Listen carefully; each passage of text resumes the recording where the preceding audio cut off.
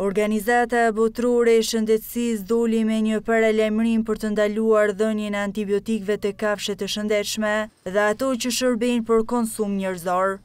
Sipas kësaj organizate, keqpërdorimi i barnave ndikon negativisht në shëndetin e kafshëve dhe të konsumatorit në veçanti. Selatin Kaçaniku nga shoqata Konsumatori tha për Tribuna Channel se Kosova ka nivel shumë të lartë të antibiotikëve te kafshët. Ai tha se për këtë problem ka ngritur zërin shumë herë por që nuk janë marrë parasysh nga asnjë prej institucioneve të Kosovës.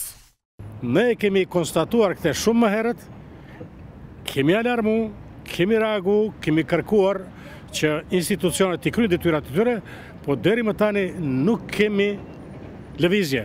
Posaçërisht më brengos Ministria e Shëndetësisë, e cila temën e antibiotikëve dhe hormoneve te agrobizneset e merr si temë të huaj jo si të veten. Kosova ndodhet në majën e ranglistës në botë për nga përdorimi i antibiotikëve, Ndërsa Lamir Thaçi nga Agjencia e Ushqimit dhe Veterinarisë tha se ende nuk ka një raport përfundimtar zyrtar të asnjë vendi dhe vetë Bashkimit Europian i cili e ndalon përdorimin e antibiotikëve. Thaçi tha se përdorimi i antibiotikëve te kafshët është i rregulluar me ligjet në fuqi dhe është i nevojshëm si përdorim me konsultimin e veterinarit.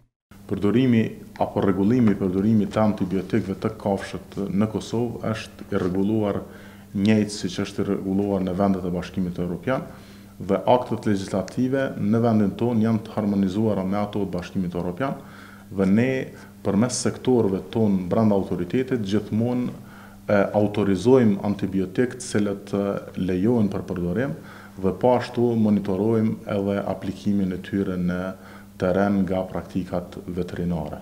Thaçi tha se nga plani i monitorimit dhe mostrat që janë marrë te kafshët për nivelin e antibiotikëve kanë rezultuar të rregullta dhe i plotësojnë kushtet për konsum.